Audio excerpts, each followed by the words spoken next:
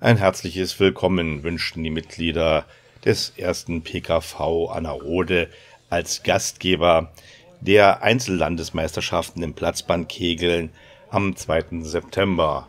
Für ein schönes Bild waren sozusagen die Sonntagskegel samt Kugel aufgebaut und auch die Pokale waren schon zu sehen, um die es an diesem Tag ging. Es sollte eine wahre Marathonveranstaltung werden, hatte man sich doch besondere Gäste eingeladen, aber dazu später mehr.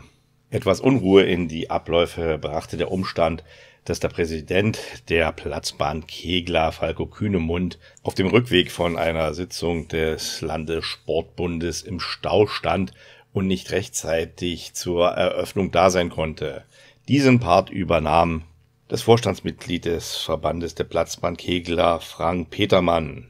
Dann gab's die notwendigen Formalitäten, so wurden die mitgebrachten Kugeln auf ihre Wettkampfkonformität untersucht und die Startreihenfolge der 20 besten Platzbahnkegler für diese Einzelmeisterschaften wurde ausgelost. Dabei bekam Falco Kühnemund einen hinteren Startplatz zugewiesen, in der Hoffnung, dass er rechtzeitig das Spielfeld erreichen würde, was dann auch geschah. Wie erwähnt, maßen sich die 20 besten Platzbahnkegler der vergangenen Saison in zwei Durchgängen. Der erste wurde, wie gesehen, ausgelost. Im zweiten würde dann der Werfer mit der niedrigsten Punktzahl beginnen und aufsteigend dann bis zum letzten durchgekegelt werden. Bei Punktgleichstand gäbe es entsprechend ein Stechen. Zwischen war Lukas Herrling von Ziegelrode 1 zu sehen, der den Wettkampf mit sehr guten 47 Holz eröffnete. Und auch das nachfolgende Resultat von Ronny Müller aus Kreisfeld konnte sich sehen lassen. Immerhin 45 Holz. Das beste Resultat in diesem ersten Durchgang erzielte Sebastian Heileck vom ersten PKV Siebigerode mit sage und schreibe 50 Holz. Das zweitbeste Resultat erzielte mit 49 Holz Pascal Oelzel von der SG Hergesdorf-Alsdorf. Richtig schlecht lief's für den Titelverteidiger aus Anarode, Benjamin Heileck. Er erreichte nur 37 Holz und landete weit hinten in der Tabelle, ohne die Chance, seinen Titel zu verteidigen.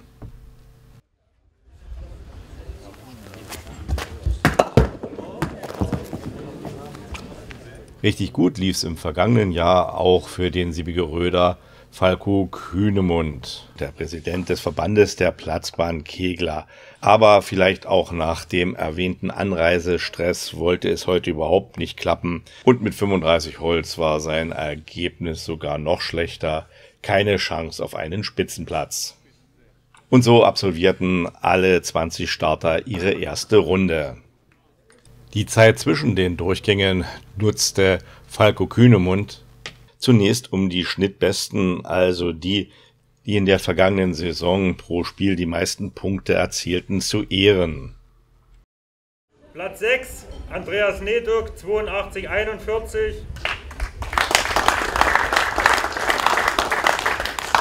Platz 5, Roy Henze, 83,16.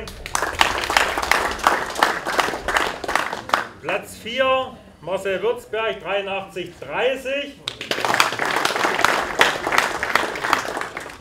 Platz 3, meine Wenigkeit, 83,94.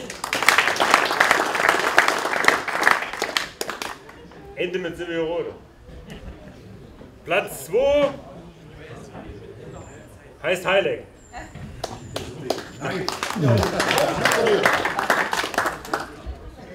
Aber Platz 2 hat heute die Chance, sich einen anderen Titel zu sichern. Platz 2, Sebastian Heileck, 84, 21.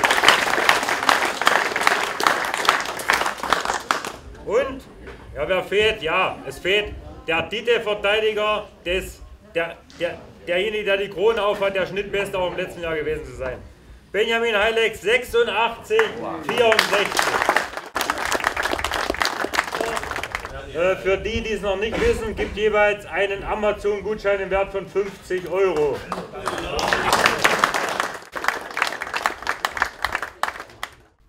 Weiter ging es mit der Pokalübergabe in Auswertung der Mannschaftsmeisterschaften, die ja denkbar knapp ausgingen. Siebenrode konnte sich nur durch das äh, Holzverhältnis gegen Anarode im letzten Spiel durchsetzen.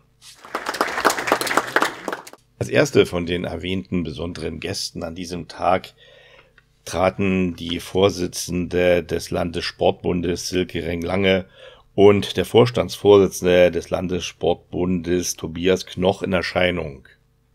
Sie nutzten nämlich zunächst die Gelegenheit, Olaf Kühnemund, Wolfram Heilig und Horst Carbon mit der goldenen Ehrenurkunde des Landessportbundes für ihr langjähriges Engagement für den Platzbahn-Kegelsport auszuzeichnen.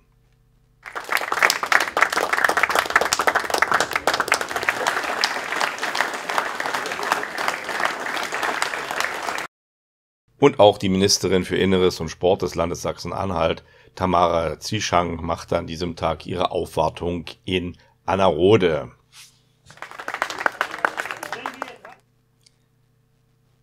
Sie versuchte sich dann auch gleich mal beim Platzbandkegeln und machte das gar nicht schlecht.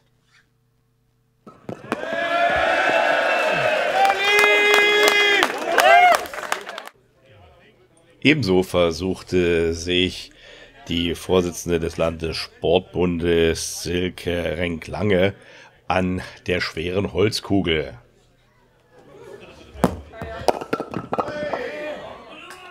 Und dritter im Bunde bei den Platzbahn-Kegelaspiranten war der Landrat André Schröder, der ebenfalls vor Ort war.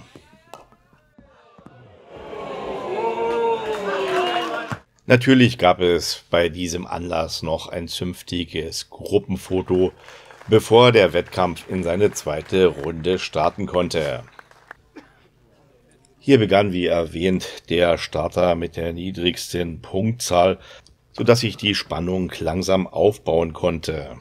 Erwähnenswert hier zum Beispiel der Anna Röder Matthias Behrendt. Er verbesserte sich in der zweiten Runde nach 39 Holz im ersten und 44 im zweiten, also in der Gesamtsumme auf 83 Holz. Das gleiche Ergebnis erzielte Ronny Walles vom TSV Bendorf. Er hatte in der ersten Runde 38 Holz und im zweiten Durchgang 45 erzielt. Das reichte aber noch nicht für die ersten sechs Ränge. Das machten die nachfolgenden Starter unter sich aus. Lukas Herrling hatte im ersten Durchgang 47 Holz erzielt, war damit schon Mitfavorit, schafft im zweiten Durchgang aber nur 39, in der Summe 86. Ebenso viel erzielte Roy Henze, der siebige Röder schaffte 40 und 46 Holz. Die beiden würden im Stechen ermitteln, wer Fünfter und wer Sechster würde. Der siebige Röder Andreas Nedo konnte seine 46 Holz aus dem ersten Durchgang mit 44 weiteren fast bestätigen und legte 90 vor. Noch bessere Voraussetzungen mit 49 geworfenen Holz im ersten Durchgang hatte Pascal Oelzel. Er startet für Hergesdorf-Alsdorf und erzielte im zweiten Durchgang 41 Holz, leicht verschlechtert, trotzdem in der Summe 90 Holz. Und schließlich noch der Anna Röder Niklas Kühnemund.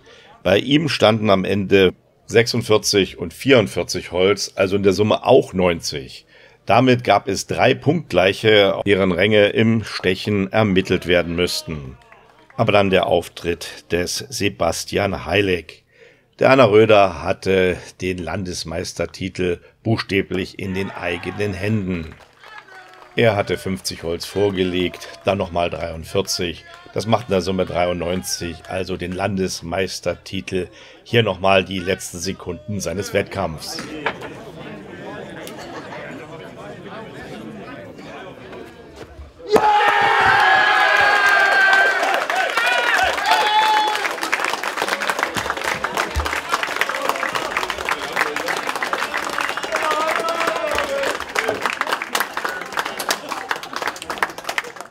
Damit war der Landesmeistertitel vergeben. Herzlichen Glückwunsch an Sebastian Heileg.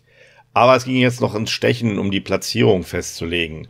Zunächst um Platz 5. Und hier konnte sich der siebige Röder Roy Henze gegen Lukas Herrling aus Ziegelrode durchsetzen.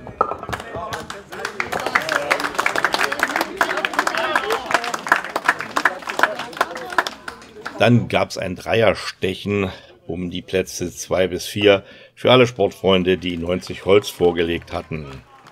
Hier blieb zuerst der Anna Röder Niklas Kühnemund auf der Strecke. Er belegt damit Platz 4. Andreas Neduk, Siebigerode und Pascal Oetzel, Hergesdorf-Alsdorf mussten noch zwei weitere Runden absolvieren, bevor klar war, dass Andreas Neduk den zweiten Platz belegt und der Hergesdorf-Alsdorfer auf dem dritten Platz landen würde. Damit war der Wettkampf offiziell beendet und Falco Kühnemund konnte die Siegerehrung vornehmen. Im Stechen sich durchgesetzt mit deutlich über 9 bei drei Schuss. Der Sportfreund Roy Henze aus Sibirode mit 86 Holz.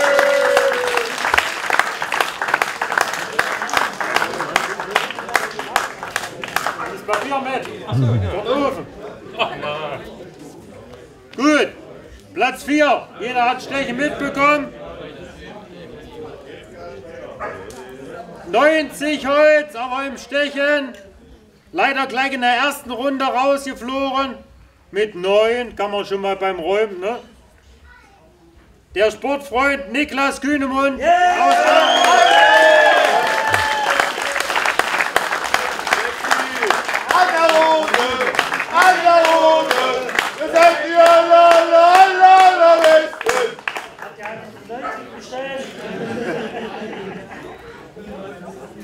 Gut, Platz 3. Der Sportfreund Pascal Oetze aus Herrisdorf.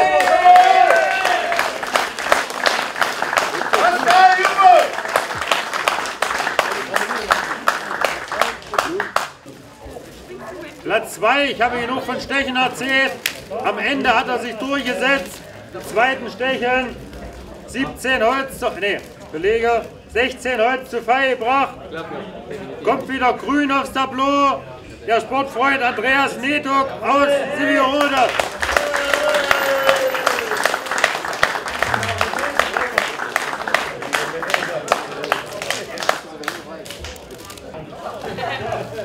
Platz 1. Letztes Jahr war er schon unter den ersten drei. Heute hat er sich selbst das schwere Los hingelegt, mit 50 als letzter dran sein zu dürfen. Müssen tun wir ja alle nicht, habe ich heute wieder gehört. Die Nerven hat er behalten und am Ende verdient mit 93 Holz der Sportfreund Heilig Sebastian aus Annerode.